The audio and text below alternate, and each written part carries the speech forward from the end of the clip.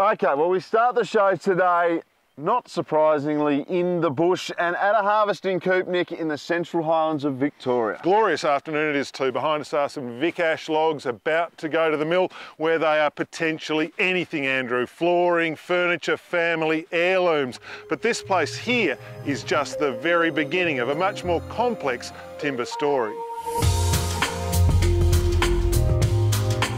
Before this timber finds its way into your home as a crafted, finished product, it'll pass through many hands and create a range of jobs along the way. No surprise that the timber industry is a big employer, but the rural urban mix may surprise you.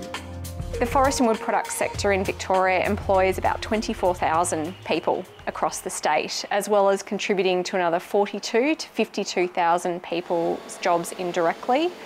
Um, a lot of those jobs are actually in metropolitan Melbourne. About 14,000 people in metropolitan Melbourne are employed by the industry, much of that in timber manufacturing. So from the bush and into the city, this is Melbourne, Nick.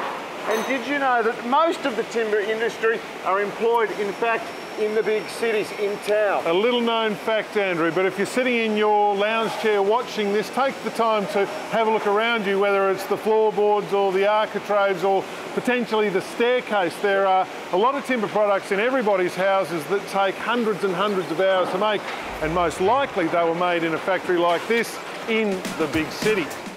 No better example of that than here in the southeastern suburbs of Melbourne. Tom Acquroff's great grandfather was one of the founding partners of Slattery Ackroft Stairs back in the 20s. They used to deliver staircases around Melbourne in a wheelbarrow. Today, the company spans three states and employs 120 people. We're extremely lucky.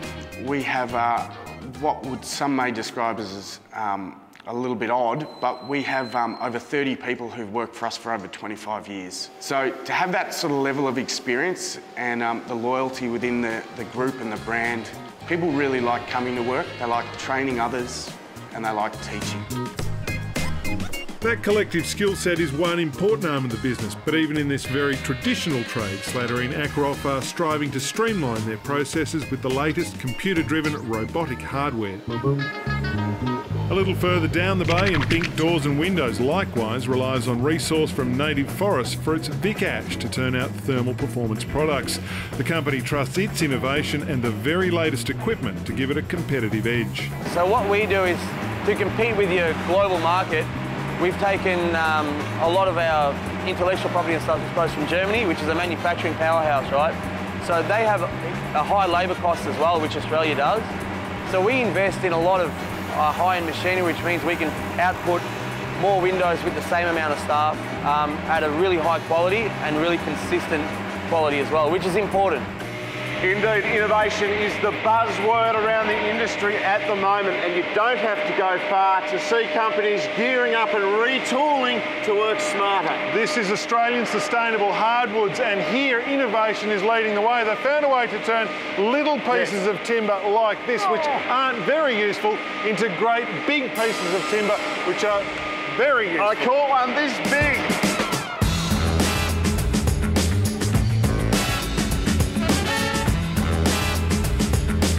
New $2.5 million finger jointing line allows smaller offcuts to be seamlessly fused together into standard lengths of appearance grade timber, meaning less waste and higher value products. Twofold, it's the, it's the increase in recovery and the increase in value recovery. So, so from this machine, we're looking to see around about 2 to 2.5% increase in recovery, but more importantly, we're looking to gain another 4% in value recovery. So that's taking wood that would be otherwise in a, in a low grade or, or in waste and taking that wood and putting it into a high grade use. At nearby Australian Paper, the Latrobe Valley's biggest private employer, the theme of innovation is taking the shape of a $90 million investment in recycling. This de-inking plant currently under construction will transform what happens to Australia's waste paper. Very simply put, we will be taking approximately 80,000 tonnes of of uh, waste office paper predominantly um, and putting it through a process to clean, screen and make that fibre good for reuse or recycled in our paper products, mainly Reflex. And the stockpiling of waste paper has already started. This warehouse west of Melbourne holds about 3,000 tonnes of waste, most of which would have found its way into landfill if not for the innovation at Australian Paper. It's, it's very, very important. I think any company that stands still nowadays and doesn't innovate with its products and its offering to the marketplace will eventually um, um, die a slow death. All that industry, all that innovation counts for very little if there isn't the raw material to feed it. Here in Australia there are two complementary but distinctly different sources of timber raw material. The two supply lines are, of course, natural forest and plantation forest. The big question is why do we need both? They actually provide different products. Um, what you see in staircases, for instance, is likely from um, high quality, for instance, Victorian ash timber, which we supply from well managed native forests over a very long rotation. And what you can see here is timber framing that comes from our plantation forests, which are actually a pine resource. And that's incredibly important for the building sector.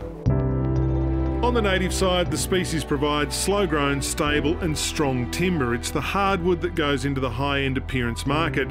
The timber comes from publicly owned forests, which are managed to maintain conservation, social, and economic values. And all of those values are managed with balance uh, and it's a big responsibility on our shoulders to continue in, to ensure we get that balance right. We think we've got the fundamentals right. Uh, really, of the, the round about seven and a half million hectares of publicly owned forest in Victoria, we harvest in around about 6% of that area. But within that 6%, uh, we still need to do that responsibly and still need to meet community expectations. In our native bush, every tree harvested is replaced with another, and the forest is organically regenerated without chemicals or fertiliser in a process designed to mimic nature. That's not always the case with timber we import from other countries. Nearly all of what we compete against that's imported into Australia is from natural forests. Virtually none of it is from plantation forests. And I'd like to think, and the evidence is there to say, that our natural forests are a lot better managed than many of the others around the world, particularly from the tropical countries. So what then of the plantation estate in Victoria? 430,000 hectares are intensively managed to grow trees, almost half that area dedicated to hardwood production. So why not get our high-end saw logs from these forests? There are indeed massive amounts of land put into hardwood plantation. That's one of these fellas here, a blue gum, Nick, but no good for saw logs because look at it, it's not big and straight. There's no clear lengths of timber. The other point about these trees, Hardy, is the fact that they grow so quickly that when you dry the timber, invariably it cracks or splits. So never be a saw log, that tree. So no good for furniture, flooring or a staircase, but where plantation hardwood comes into its own is as a fibre for producing high quality paper. Australian Paper provides an important local market for plantation hardwood and softwood from central Victoria and low-grade certified wood from Vic Forests, which would otherwise be burnt or exported as wood chips, and is a vital part of the sustainable local Victorian timber industry and the 24,000 jobs it directly supports.